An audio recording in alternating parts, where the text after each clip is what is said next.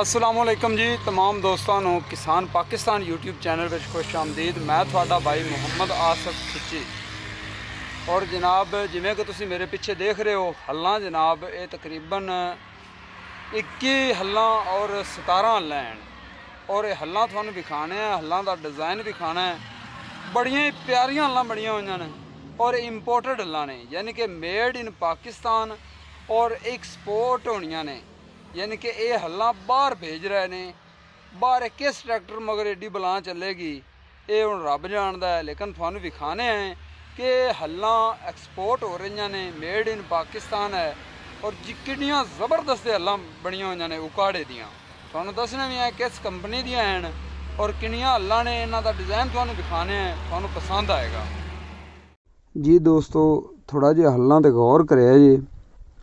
ਕਿ ਹੱਲਾਂ ਜਿਹੜੀਆਂ ਨੇ ਨਾ, ਇਹ ਆਪਣੇ ਲੋਕਲ ਜਿਹੜੀਆਂ ਹੱਲਾਂ ਨੇ, ਟਿੱਲਰ ਐਨ, ਉਹਨਾਂ ਨਾਲੋਂ ਕਾਫੀ ਮੁਖਤਲਿਫ ਇਹਦਾ ਡਿਜ਼ਾਇਨ ਹੈ, ਇਹਦਾ ਕਾਫੀ ਮੁਖਤਲਿਫ ਮਟੀਰੀਅਲ ਹੈ।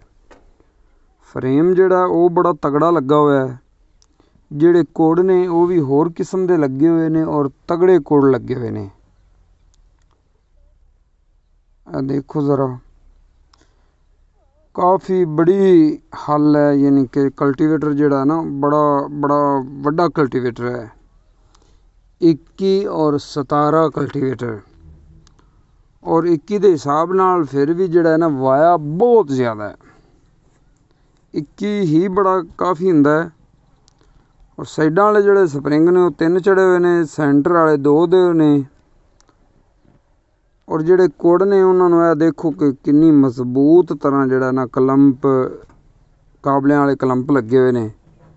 ਬੜਾ ਮਜ਼ਬੂਤ ਕੰਮ ਕੀਤਾ ਹੋਇਆ ਹੈ। ਸਪਰਿੰਗ ਦੀ ਐਡਜਸਟ ਵਾਸਤੇ ਵੀ ਦੋ ਦੋ ਕਾਬਲੇ ਲੱਗੇ ਹੋਏ ਨੇ। ਕਿ ਤੁਸੀਂ ਅੱਗੇ ਪਿੱਛੇ ਨਾ ਕਾਬਲਿਆਂ ਤੋਂ ਸਪਰਿੰਗਾਂ ਦੀ ਧੜ ਜਿਹੜੇ ਬਣਾ ਸਕਦੇ ਹੋ। ਧੜ ਕਮ ਰੱਖਣੀ, ਜ਼ਿਆਦਾ ਰੱਖਣੀ। ਔਰ ਹਾਲੇ ਤੱਕ ਇਹ ਹੱਲਾਂ ਜਿਹੜੀਆਂ ਨੇ ਨਾ ਤਿਆਰ ਹੋ ਰਹੀਆਂ ਨੇ।